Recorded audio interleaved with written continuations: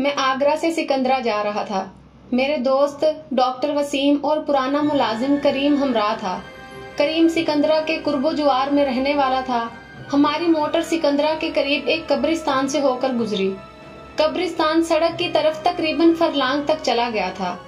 शिकिस्ता कब्रों के दर्दनाक मंजर से मुतासिर होकर मैं दम बखुद बैठा था। मुझे एक दफ़ा इसी कब्रिस्तान में एक अजीब वाक्य पेश आया। करीम ने यकायक मेरी तरफ़ मुखातिब होकर कहा वसीम किसी गहरी सोच में था। चुकन्ना होकर बोला, क्या कहा करीम? करीम कहने लगा, मैं यहाँ करीब ही एक छोटे से गाँव में रहता था। यहाँ किसी जमाने में शाही कब्रिस्तान था। इसके इस सिरे पर एक बातूनी फकीर रहता था।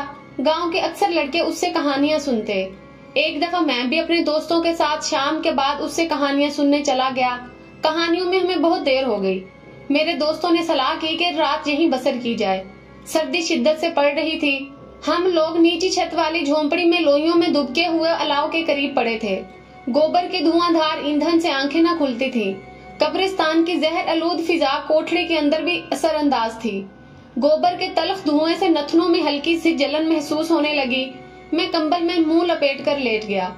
आधी रात को आँख खुली तो एक ऐसी पुरहोल और लर्जा खेज आवाज़ सुनाई दी कि रूह तक काँप गई।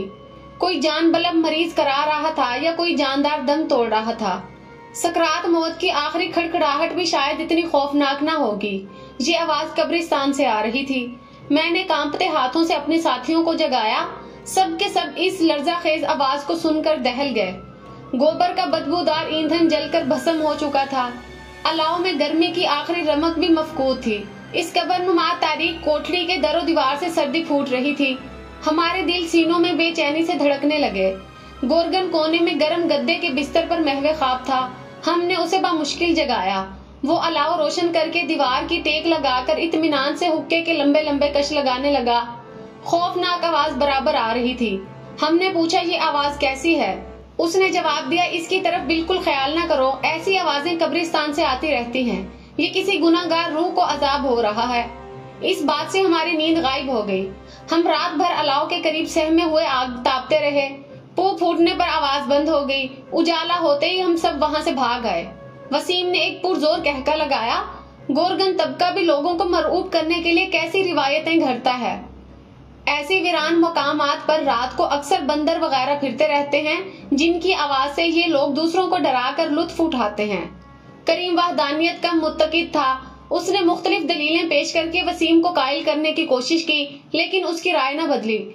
मैं भी करीम का हम ख्याल था, इसलिए मैंने उसकी तायद की। आखिरकार ये तय पाया कि कल हम लोग भी तजर्बे के लिए उस पुरानी झोंपड़ी में रात बसर करेंगे। दूसरे दिन शाम के करीब हम लोग कब्रिस्तान की तरफ़ रवाना हुए। कब्रिस्तान शहनशाह अकबर के मकबरे से मील भर के फासले पर था और किसी जमाने में इससे बिल्कुल मुलहिक होगा। झोंपड़ी का दरवेश अभी तक ज़िंदा था। उससे हमें इस कब्रिस्तान के मुतालिक बहुत सी मालूम हासिल हुई हमने उसे इनाम देकर इस बात पर राज़ी कर लिया कि आज की रात हमें अपनी कोठरी में जगह दे और खुद किसी दूसरी जगह रात बसर करे। साई के जाने के बाद भी करीम ने कोठरी साफ़ की और एक तरफ़ सब पर हमारे बिस्तर लगा दिए। खिजा का नासाज मौसम था। हवा में बेकली और फिजा में एक दर्द अंगेज थरथराहट थी। रात की सुनसान तारीकी में दरख्तों की बरहना शाखों से रह रह कर एक होक सी उठती। दिए की रोशनी कोठरी की स्याह दीवारों में जज्ब होकर रह गई थी। हम चुपचाप दम साधे हुए बिस्तरों में पड़े रहे। आधी रात के करीब तमाम दुनिया बहरे जुल्मात में गरकाब हो रही थी कि यकायक एक मुहिब आवाज़ ने हमें खौफ खौफजदा कर दिया। ऐसा मालूम होता था फरिश्ता अजल के फटकारने की आवाज़ है, ये दरोगा जहन्नम के उन कोड़ों की जो किसी गुनागार रूह पर बरसाए जा रहे हैं। करीम और मुझ पर खौफ और हरास तारी था, मगर वसीम पर बजाय खौफ के ताज्जुब का अंसर गालिब था। वो झट उठा और टार्च हाथ में लेकर बाहर निकल गया। हमने उसे बाहर जाते हुए देखा, मगर उसके पीछे जाने की ज़रूरत ना हो सकी। थोड़ी देर बाद वापस आया और कोने से कब्रें खोदने वाली कदार लेकर दोबारा बाहर जाने लगा। हमने बड़े इसरार से रोका, लेकिन वो जिद्दी इंसान राज के तह तक पहुँचने पर तुला हुआ था। बेपरवाही से कहने लगा, मेरी फ़िक्र मत करो, मैं लाशों की सोहबत में बैठने का आदि हूँ। मैंने कदाल की तरफ़ इशारा करते हुए कहा, तहम इस काम के लिए ये वक्त मौजू नहीं, सुबह देखा जाएगा। मगर वो रोके ना रुका। आखिर करीम भी साथ चलने को तैयार हो गया। अब मेरे लिए तनहा यहाँ रहना दुशवार था। खैर, मैं भी उनके साथ हो लिया। हवा खौफनाक आवाज़ की सरसराहट के साथ नागवार गूंज पैदा कर रही थी। खुश्क पत्तों की चुड़मुड़ की सदा से रूहों के चलने फिरने का गुमान होता था।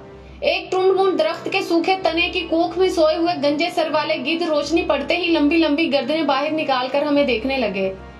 टॉर्च की झिलमिलाती जू में हमारे साए लंबे और डरावने हो रहे थे। सहमी हुई फिजा में कब्रें खौफ से सुकड़ती हुई मालूम होती थी। हम महसूस करने लगे कि मुर्दे अपनी बेनूर आँखें फाड़ फाड़ कर हमें कब्रों से घूर रहे हैं और अभी अपने अस्तगवानी हाथ बढ़ाकर पकड़ लेंगे। इस तकलीफदा ख्याल के जेर असर में बारहा अपने साय से डरकर उछलने लगता। मगर आफरीन है वसीम पर, वो जानता भी ना था कि डर किसी को कहते हैं। बेखटके कब्रों को रोनता हुआ एक पुरानी कब्र पर जाकर खड़ा हुआ। इस कब्र का तावीज जो कभी पुख्ता था, पक्के खरबूजे की तरह तड़क करके फूट चुका था। उस पर बेहद काही उगी हुई थी। दाएँ तरफ़ एक हिजार रसीदा झाड़ी थी, जिसकी सूखी हुई लंबी लंबी टहनिया कब्र पर फैली हुई थी।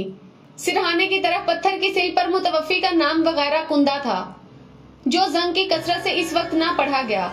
ये आवाज़ इसी कब्र से आ रही थी। वसीम इसे खोदने की फ़िक्र करने लगा। बहुत जल्द उसे महसूस हुआ, ये कब्र जो बजाहिर फट कर शहद के छत्ते की तरह खोखली हो रही है। दरअसल बहुत मज़बूत है। वो झाड़ी की सूखी शाखें हटाकर कब्र का कोई हिस्सा तलाश करने लगा।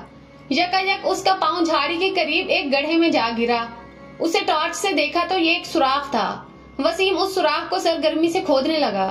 कदाल की जरा पड़ते ही वो आवाज़ जगदम बंद हो गई। मगर धुन का पक्का वसीम अपने काम में मसरूफ रहा। करीम टॉर्च लिए खड़ा था और मैं सुराख से निकलती हुई मिट्टी को कांपते हुए हाथों से परे फेंक कर जगह को साफ़ कर रहा था। एक घंटा में उसने सीन के ज़रिए कबर की दाहिनी तरफ़ उखेड़ कर रख दी और उसके बाद पूरी ताकत से तावीज का खोल उखाड़ कर परे धकेल दिया। अब कबर हमारे सामने बिल्कुल खुली पड़ी थी। उफ, इस दर्दनाक नजारे ने हमारे दिल तड़पा दिए। कबर में लाश के करीब एक नुजायदा बच्चा पड़ा हुआ था। कबर में मुर्दे का तमाम जिसम मिट्टी हो रहा था। बच्चे की शक्ल निहायत मकरूहा थी। बेख्तियार मेरे मुँह से चीख निकली और करीम भी भूत भूत कहकर पीछे हटा। लेकिन वसीम ने बच्चे को अपने बाजुओं में ले लिया और कोठरी में ले आया। दिए की मुसलसल रोशनी से घबरा कर बच्चा रोने लगा। उसकी भयानक आवाज़ कोठरी की धुंधली दीवारों से टकराने लगी। मैं और करीम एक कोने में जा घुसे। उफ, ये वही आवाज़ थी जो कबर की तह से सुनाई देती थी। इस आवाज़ में इतनी करख्तगी थी कि खुदा की पनाह। एक नन्हे मुन्ने बच्चे की आवाज़ कहीं ना जा सकती थी। वसीम भी पल भर के लिए बौखला गया। ताहम फ़ौरन ही आवाज़ दुरुस्त करके बोला डरने की कोई वजह नहीं। इसे कुछ गिजा देनी चाहिए। ये कहते हुए वो ताकचे में रखे हुए मिट्टी के टूटे फूटे बर्तनों में कोई खाने की चीज़ तलाश करने लगा। आखिर एक बर्तन में उसे थोड़ा सा घी मिल गया, जो उसने बच्चे को चटाया और बच्चे ने रोना बंद कर दिया। हमने रात आँखों में काट दी। सुबह साई के आने से बिस्तर ही मैं और करीम कब्रिस्तान में गए और रात की खोदी हुई कब्र के तावीज का खोल बदस्तूर कब्र पर रखकर सींध को इस मिट्टी से भर दिया, जो रात को वहाँ से निकाली गई थी। सिराहाने की तरफ़ लगी हुई सील से मुतवफा का नाम वगैरह पढ़ना चाहा, लेकिन हरूफ जंग की तहों से बिल्कुल मदूम हो चुके थे। मैंने रुमाल पानी में भिगोकर उन पर रगड़ा, आखिर बड़ी मुश्किल से शमसुन निसा पढ़ा गया। बाकी हरूफ न पढ़े जाते थे। जब हम लोग वापस कोठरी में आए तो वसीम बोला, हमें साई के आने से बिस्तर ही यहाँ से चले जाना चाहिए। साई को इस बच्चे की बरामदगी से मुतला करना अच्छा नहीं। मैंने कहा, छुपाने से क्या फ़ायदा? वो बोला, अगर किसी को मालूम हो गया तो ये बात मशहूर हो जाएगी और तमाम दुनिया इसे देखने के लिए टूट पड़ेगी। इस तरह ये बच्चा मर जाएगा। मैंने कहा, इस बच्चे का पालना खतरे से खाली नहीं। वो बोला, क्यों? क्या तुमने बड़ी बुढ़ियों से बचपन में कभी नहीं सुना कि कई लोगों को कब्रिस्तान से ऐसे ही बच्चे दस्तियाब हुए, जो हामला औरतों की मैयतों ने कब्रों में जने थे? मैंने कहा, ये तो महज रिवायतें हुआ करती हैं। भला ऐसी बातों पर कौन यकीन कर सकता है? वसीम ने कहा लेकिन ऐसी सूरत में जबकि ये रिवायत सामने अमली जामा पहन चुकी है, खाम खा कायल होना पड़ता है। एक डॉक्टर की जबान से ये अल्फाज सुनकर मैं लाजवाब हो गया। उसके बाद वसीम बच्चे को लेकर बाहर निकल गया और हम साई के आने तक वहीं ठहरे रहे। वसीम ने उस बच्चे का पालना जितना आसान समझ रखा था, उतनी ही दुश्वारियाँ पेश आईं। वो बच्चा करीम के सुपुर्द किया गया, मगर वो भी इस ज़िम्मेदारी को ना निभा सका। आखिरकार उसे एक बे औलाद बेवा की गोद में दे दिया गया। उस बच्चे का नाम सफदर रखा गया। उसके कफील हम लोग थे और उस गरीब बेवा की निगरानी में परवरिश पाता रहा। चंद माह के अंदर बच्चे की शक्ल इतनी तब्दील हो गई कि पहचाना ना जाता था। उसके पिचके हुए गालों ने गोश्त से पुर होकर हसीन बना दिया। उस परिजात बच्चे की लंबी लंबी और बड़ी आँखें खास तौर पर खूबसूरत और चमकीली थी। मुझे और करीम को बनस्बत वसीम के इस बच्चे से ज़्यादा उन्स हो गया। ये बच्चा हैरत अंगेज तौर पर नशो नुमा पा रहा था। बच्चे के दिमाग पैदाइशी नुक्स था। दो बरस का हुआ तो गरीब बेवा को शिकायत रहने लगी कि बच्चा निहायत तुंद मिजाज है। जिस गिलास से वो पानी पी ले, वो उसमें खुद पानी नहीं पीता और उसे अपने बराबर बैठने नहीं देता। चार साल का हुआ था कि वो बेवा फोत हो गई। अब उसे दोबारा करीम के पास लाया गया। घर लाने पर हमें उसकी आदात अतवार का सही अंदाज़ा हो गया। जिस तरह उसकी हस्ती पुर इसरार थी, उसी तरह उसके आदात अतवार भी निराले थे।